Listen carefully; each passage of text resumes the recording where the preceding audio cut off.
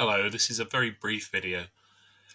I'm going to put a link to a song underneath this. There's a lot of swearing in it and it's rough, but I think it makes its point about the wonderful arguments on both sides of the race divide.